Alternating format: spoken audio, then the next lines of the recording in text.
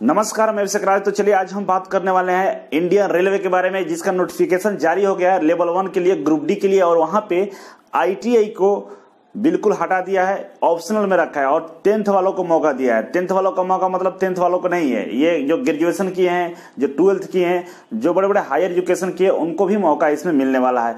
तो ये सरासर गलत है। इसके बारे में हम बात करेंगे पूरा डिटेल्स में कि क्या होना चाहिए और क्या गलत है। इससे पहले बता दें कि अगर आप मेरे फेसबुक ग्रुप में नहीं है तो वहाँ ज्वाइन कर लीजिए। वहाँ दस हज़ार के आसपास बच्चे हैं जो आपस में बहुत सारे प्रॉब्लम को लेकर डिस्कस करते हैं। बहुत सारे आईटी वाले हैं जो बहुत सारे जो जॉब होता है ना, बहुत बड़ी बड़ी कंपनियाँ प्लेसमेंट के लिए आती है, उसका जानकारी आपको वहाँ मिल जाएगा। और बहुत सारे टेक्निकल जानकारी आपको वहाँ मिलेगी। आप भी वहाँ क्वेश्चन पूछ सकते हैं। बहुत सारे लोगों से जुड़ सकते हैं। तो आप मेरा फेसबुक ग्रुप ज्वाइन कर लीजिए। डिस्क्रिप्शन बॉक्स में उसका लिंक मिल जाएगा, जहाँ से आप डायरेक्टली ज्वाइन कर सकते हैं। तो चलिए, आज हम बात करने वाले हैं कि सरकार जो एक आई लोगों के साथ जो दोगला व्यवहार कर रही है और उसका रिज़ल्ट सामने है कि उन्होंने आईटीआई को ऑप्शनल में रखा है कि आप आईटीआई किए तो ही भर सकते हैं, नहीं किए तो ही भर सकते हैं। लेकिन ये सरासर गलत है।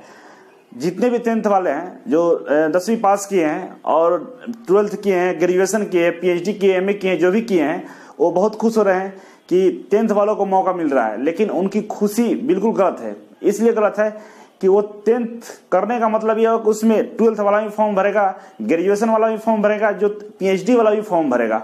और वो ज्वाइनिंग नहीं करता है। वो एग्ज़ाम निकालने के बाद दो साल तक नो ड्यूटी नो पे लगाकर बैठा रहता है। और तीसरे साल वो ज्वाइन भी नहीं करता। उसका भारी नुकसान रेलवे को भी होता है। और जो उस पोस्ट के लिए इलिबल था, जो पोस्ट पर जाना चाह रहा था, उसका तो नुकसान नहीं है। उसका जीवन बर्बाद हो जाता है। तो रेलवे की यह बात सोचना चाहिए। लेकिन रेलवे ने यह बात नहीं सोचा, हमारे गवर्नमेंट ने यह बात नहीं सोचा, और हमारे साथ नाइंसाफी हुई है, और इसका परिणाम तो आने वाले दिनों में मिलेगा ही, लेकिन ये सरकार को हमारे जो आईटीआई का जो इंस्टीट्यूशन है कॉलेज हैं, और जो आईटीआई कर रहे हैं जो कर चुके हैं, उनके जो मनोदशा या उनकी जो बेरोजगारी है, उसको नहीं समझा गया है। तो ये सारा सर गलत है। दूसरी चीज़ ये है कि सहानुभूति के लिए वहाँ पे टेंथ ऑब्लिक करके और करके आईटीआई लिखा हुआ और मतलब या, आप ज़रूरी नहीं है कि आप आईटीआई किया नहीं किए, वो तो उसको भी हटा देना चाहिए था। क्यों सहानुभूति दे रहे हैं कि आईटी वालों को भी रखे ऐसा नहीं है। आपने जो टेंथ के साथ और लिख दिया ना कि आप आईटीआई के लिए ऑप्शनल दे दिया तो उसी समय सारे आईटीआई लोग, जितने देश में हर साल 22 लाख आईटीआई करने वाले बाहर निकलते हैं, सबका आपने दिल तोड़ दिया है। और उसको भी हटा देना चाहिए था। आप सहानुभूति के लिए वहाँ पे लिखे हैं, वो बिल्कुल गलत है, नहीं लिखना चाहिए। और हम लोग, जितने भी आई करने वाले लोग हैं, वो देखना नहीं चाहते उस चीज़ों को। तो वो सहानुभूति नहीं चाहिए। दूसरा चीज़ है कि हम लोग मजबूर नहीं है, हम लोग मज़बूत हैं। हम लोग काम करके, मेहनत करके कमाना जानते हैं और मेहनत करके क्लास किए हैं। बहुत सारे लोग कमेंट करते हैं कि आईटी वाले लोग बकवास हैं। वो लोग टेक्निकल में फिर कोई टेक्निकल नॉलेज नहीं है तो ऐसा नहीं है।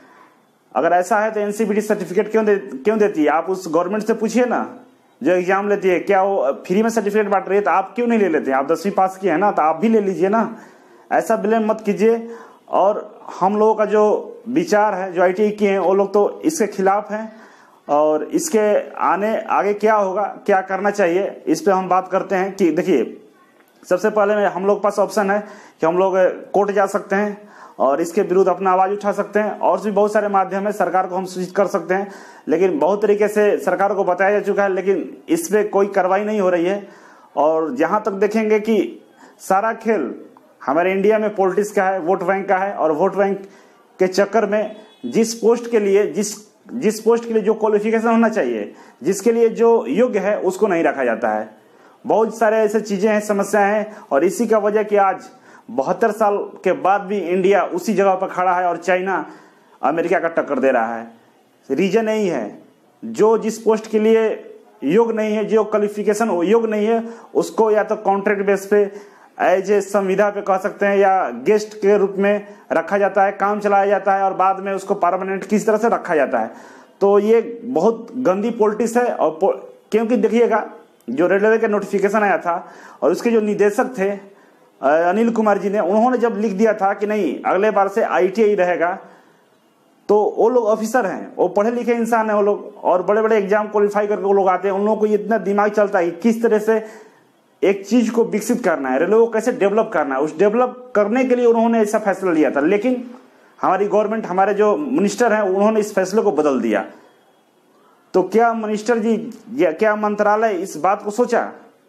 कि जिस मिनिस्ट्री के अंदर रेल मंत्रालय है रेल मंत्रालय क्या इस पर विचार किया कि उस जो ऑफिसर था जिन्होंने ये लिखा था अनिल कुमार जी निदेशक थे कि आईटीआई होना चाहिए तो उनके पीछे उनकी क्या मनोभावना थी? कोई पॉलिटिक्स नहीं था। वो चाह रहे थे कि एक योग्य इंसान आए और उस पोस्ट के लिए काबिल हो और अच्छा से रेलवे का काम हो। आज भी जो रेलवे में जिस तरह से सिस्टम है वो क्यों रेलवे ट्रे, ट्रेन क्यों डिले चल रही है? क्यों नहीं पटरी पर काम अच्छा हो रहा है? ये सारी का वजह यही है कि हमारा क्वालिफिकेशन उसके योग्य नहीं है। बीटेक वाले जाते हैं ग्रुप डी में, काम नहीं करते हैं, देश चोरी करते हैं और घर चले जाते हैं, छोड़ते हैं नौकरी। वो सीट खाली रह जाता है। बड़े बड़े क्वालिफिकेशन वाले जाते हैं प्रमोशन के चक्कर में पड़े रहते हैं। तेल पानी लगाते रहते हैं, पैसे देते हैं, घुसखोरी करते हैं तो यह काम नहीं होता इफ़ेक्टिव काम नहीं हो पाता और उसका परिणाम है, हमारे रेलवे डिले है एक्सीडेंट होती है, बहुत सारी समस्याएँ आती है। तो इन सब समस्याओं के निदान के लिए रेलवे के जो अधिकारी थे, निदेशक थे, अनिल कुमार जी ने यह फैसला लिया था, लेकिन सरकार ने इसको बदल दिया। ये अन्याय है और इस पर विचार होना चाहिए। फिर सभी समय है विचार